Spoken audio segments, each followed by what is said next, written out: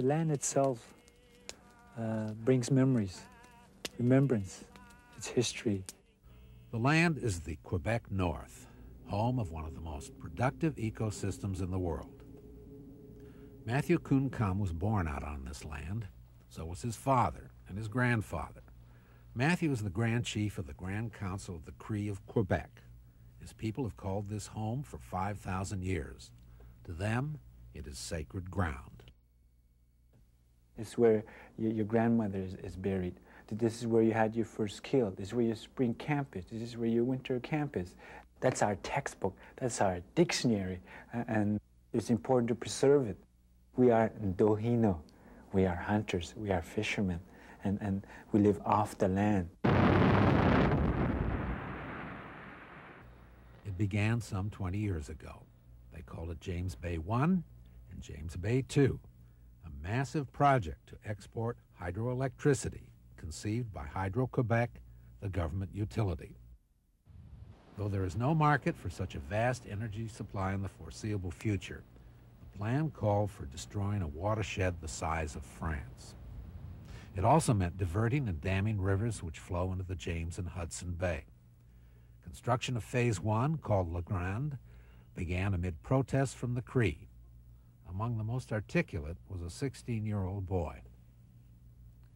I got up and I spoke. I talked about uh, how what the land at least means to me and the stories that my father and grandfather taught me. Although he remembered the stories, Matthew Kuhn Cummins left this land at an early age, forced to attend government schools. His father reminded him he had more to learn. You know nothing.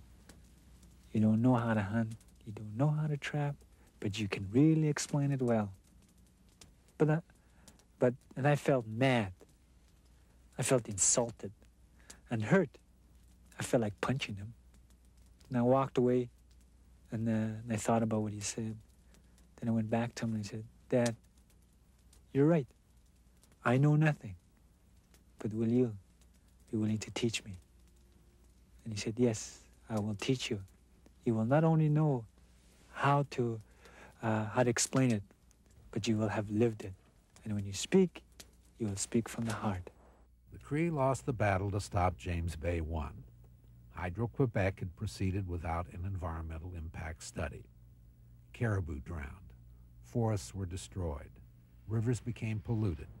Methyl mercury from decaying vegetation contaminated the fish and wildlife, staples of the Cree diet that are now inedible for decades to come.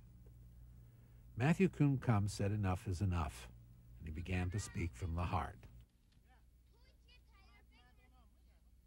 The traditions, the customs, the language is already interrelated with, with the land. And if you take that away from us, you'll have taken the spirit that's there. You'll have killed a culture, a language, a way of life. And that's something that, that we will not allow to happen. What he would not allow to happen was James Bay 2, the Great Whale Project. He formed local, national, and international coalitions. The result? A string of victories. In March 1994, the state of New York canceled a $5 billion contract with Hydro Quebec. And across the Northeast, communities are agreeing not to purchase energy created by James Bay 2. In addition, environmental impact assessments are now required to export energy. Matthew Coon Come knows his struggle is far from over. The survival of the people is at stake. We can still be strong as a people, as a nation, and we will survive. That will be our greatest victory, that we have survived.